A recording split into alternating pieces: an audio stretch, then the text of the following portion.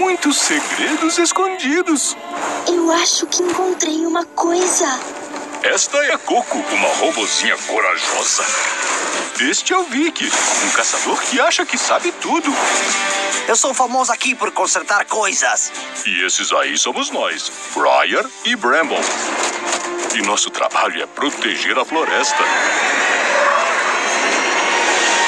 Me machuque, eu sou um urso bom. Com a ajuda da valente guerreira Naya, vamos lutar para salvar a Terra de fantástica de uma poderosa equipe de ladrões. Será que vamos conseguir proteger esse grande tesouro da natureza?